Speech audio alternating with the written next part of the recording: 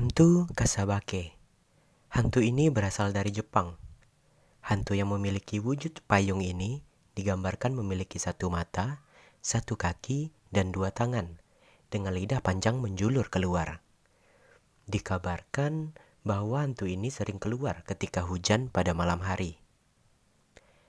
Cerita tentang hantu Kasabake ini bermula dari sebuah payung kertas yang berada di penitipan tetapi pemiliknya lupa untuk mengambilnya.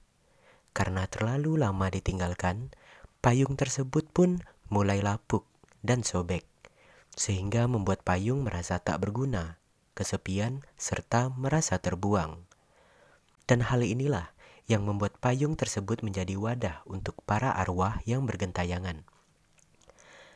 Beberapa masyarakat Jepang percaya jika sebuah barang kuno yang didiamkan selama kurun waktu yang lama bisa menjadi wadah bagi arwah dan siluman. Hal inilah yang dipercaya menciptakan hantu Kasabake ini.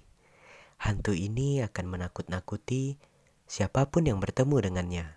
Akan tetapi tujuannya hanya untuk bermain karena ia kesepian dan ingin memiliki teman. Inilah cerita singkat dan sejarah dari hantu Kasabake.